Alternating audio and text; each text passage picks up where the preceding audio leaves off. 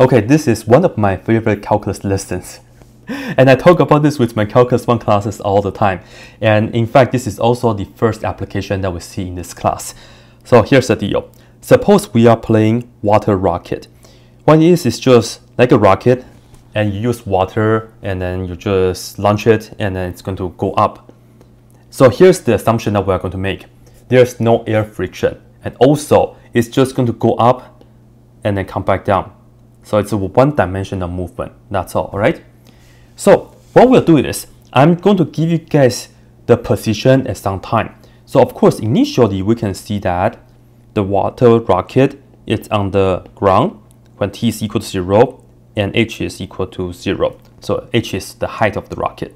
And right here I shall tell you guys t in second and then h in feet. Alright, so let me just kind of you know let it go and I will tell you after one second, let's say the rocket is somewhere here and I will tell you guys the number. When t is equal to 1, h is equal to 64. And then we are going to let it go again. But if you think about it a little bit, during the first second, it went up by 64 feet, right? So how far will you go between the first and also the second second? Is it also going to go another 64? Hmm, I don't think so because of something called the gravity on Earth, right? So in fact, during the second second, the distance is going to be shorter. So how big is it? Well, I will tell you. Let's say it's somewhere right here. When t is equal to 2, I will tell you h is equal to 96. And again, these are just the number that I'm using. Nice numbers. So now, based on this, I have a question for you guys. How high do you think that the rocket can go? So that's the first question that I'm proposing. How high can this go? Is this the maximum already? Or maybe it actually went up and then it actually come back down. It's on the way down already. Or maybe just stay here already. Or maybe it's going to go up a little bit more. So what do you guys think? Well, in order to answer that question, we need what? We better have an equation to work with, right? And here's the fact. Whenever we toss anything into the air on Earth, it's always the quadratic equation a parabola, right? So let's go ahead and use the general um, parabola, which is, I will do this in blue. So in this lesson, I'm just going to work out the algebra. We will see how to come up with equations from the given data. That's all. So no calculus yet, all right? Anyway, h of t, a quadratic equation, at squared plus bt plus c and notice I gave you guys three data values, right? And the reason for that is because we have three unknowns, A, B, and C. So we must have three data values in order to figure this out. So what are we going to do with this though? Well, firstly, we know that when t is equal to 0, h is equal to 0. So that means we have h of 0. That will give us 0, meaning we were just plugging 0 into all the t's. So we are looking at a times 0 squared plus b times 0 and then plus c. And then the t is just zeros. And um, from here, what can we get? Let me just line up. I think it's prettier this way. Alright, from here we see that this is 0, this is also 0. So that means that c is equal to 0. And in fact, you know it already because C is actually the initial position and because it was initially on the ground, so C has to be zero. Initial height in this case. All right, done. Now we use the other one, which is h of 1. And we know that is 64. And then of course, we're just plugging 1 into all the t's. So we have at squared plus bt, and t is equal to 1. And notice I don't have to write down the c anymore because c is just equal to 0. And then we also have h of 2. That's equal to 96. And then right here, we can just say a times 2 squared plus b times 2. All right, so now let's clean this up. let's put this into the nice form that we like because here we actually have a system of equations.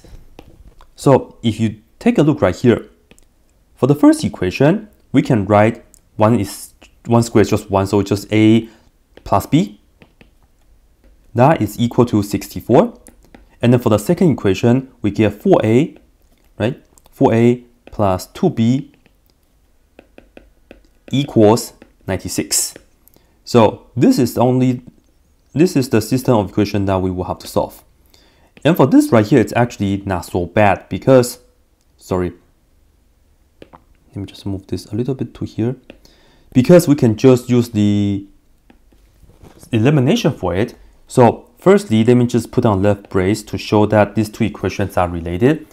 And let's get of the a maybe. So let's go ahead and multiply the top and bottom by negative 4. I mean, just the top equation by negative 4.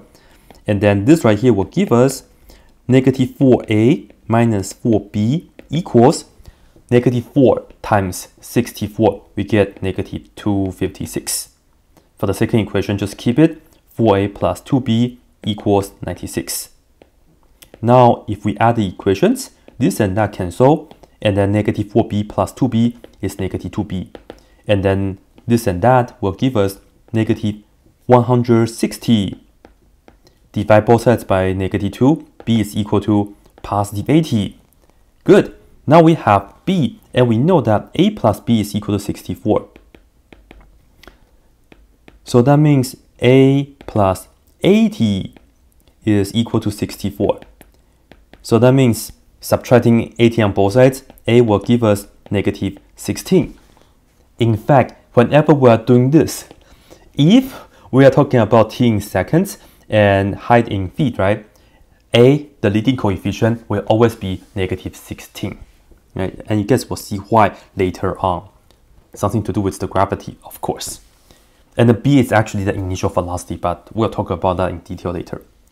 So now we have the equation. It's just h of t equals negative 16 t squared plus 80t. Good. Now, let's go ahead and answer this question. How high can you go? Well, we know that this is just an upside down parabola, so it has a vertex, right? So let me just remind you guys, if we have a parabola looks like this, we have a vertex, and the vertex formula is at, in this case, t equals negative b over 2a. So that's the vertex. Right. So this is for if we graph y is equal to h of t. But in this actual picture, the rocket goes straight up and then straight down. This picture is when we graph the t versus h plane. All right. So now we can answer this question, how high can you go? We know that the maximum will be at t equals negative b, which is 80. And then we divide this by 2 times negative 16. And then we are just going to work that out and I'll tell you the answer is 2.5.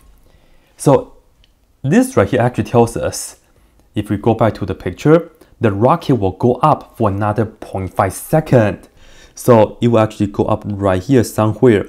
This is when t equals 2.5.